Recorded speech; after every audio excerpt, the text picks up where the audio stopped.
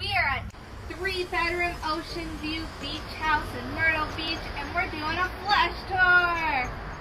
We're here in the living room with the sleeper sofa that pulls out. Right behind is the dining area with a fold out table that can seat up to eight and a full kitchen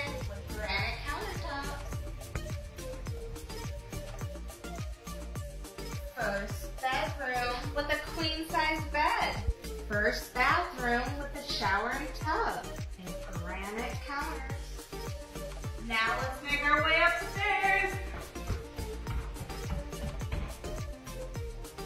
Bedroom two with a beach mural and a queen bed her own private bathroom with a walk-in shower. Hidden washer and dryer.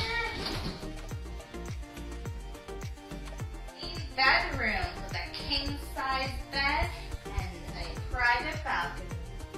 The main bathroom featuring a whirlpool tub and tile shower.